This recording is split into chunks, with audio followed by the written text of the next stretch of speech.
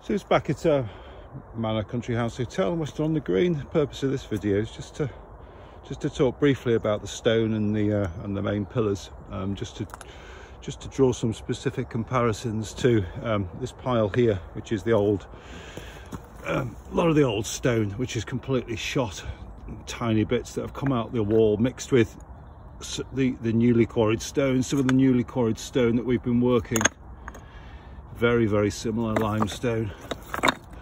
Similar obviously taking out the ground in similar area so so that's the idea of it really. This particular stone that we're using as you can see here is fabulous in terms of its ability to look more um, weathered from day one than some of the other limestones available in this area which which tend to be very very cream and stay cream.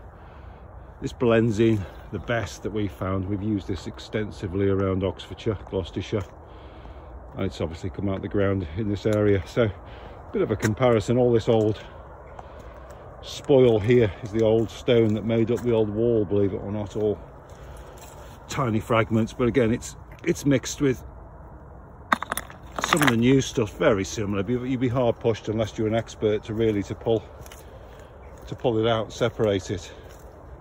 So um, so that's the stone. I mean it's, it's I, think to be fair it's as it's as it's, it's as good stone it's uh, as any it's local and it's extremely similar i mean bar for the uh, inevitable uh, lichen and what have you that's uh, on some of the original uh, pieces that's been there for 100 or so years but uh, a construction of this wall is absolutely uh, pure dry stone.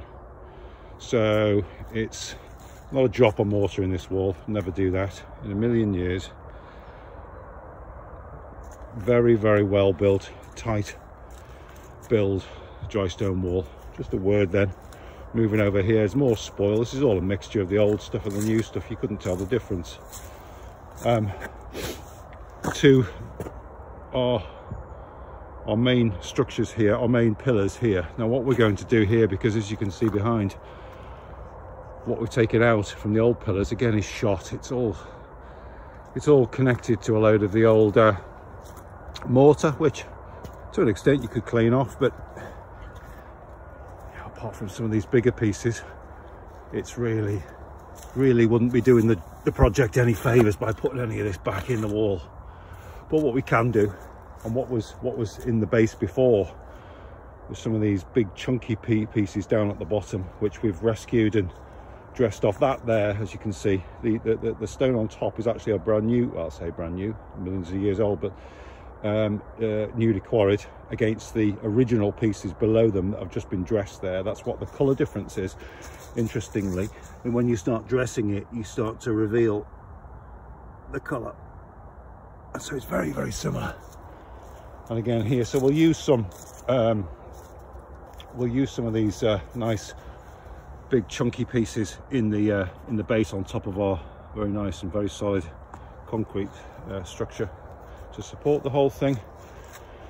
Um, yeah so I think overall the combination of the uh, original stones in the base, which is in keeping with what was there before, these the big, big blocky pieces. But what was actually in the rest of the pillar was a much smaller stuff like that. And that is all in this pile here, which is really, as I say, not doing anybody, particularly the project, any favours by putting that stuff back in. If we could, we would. Certainly much prefer to reuse what we can so there we are. Hopefully that's a, a bit of a uh, a quick update uh, about uh, about the stone on this site in Manor Country House Hotel Weston-on-the-Green